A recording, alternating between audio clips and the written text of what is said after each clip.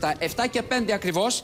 Τι άλλο έχουμε, Λενάκη, γιατί έχω πολλά ερωτήματα από τον κόσμο. Έτσι. Γιώργο, Έλα. σ- ε, καταρχήν σήμερα για το προσφυγικό 10 και μισή στο Υπουργείο Μακεδονίας Τράκης έχουμε έκτακτη σύσκεψη φορέων ε, και δημάρχων ε, προκειμένου να δούνε πώς θα διαχειριστούν αυτό που πάει να γίνει φούσκα και ε, ουέ και αλίμονα να σκάσει.